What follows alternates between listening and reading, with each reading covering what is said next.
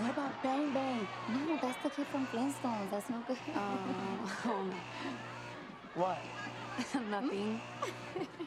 You talking about me? We were trying to guess what your nickname could be when you go to Max. What are you talking about? Nothing. I mean, I think you were totally brave. You like fucked up your whole life so that we could be free. And I don't think no one's gonna mess with you and Max when they're here. You know how bitches gossip. Everyone gonna know you a badass.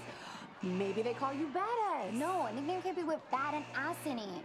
How about sexy ass? Uh. but then no one's gonna know how harsh she is, yo. Cold ass Diaz. Get off the ass track. Dominator. The Dominator. Too kinky. You know, you can't keep shooting things down without pitching.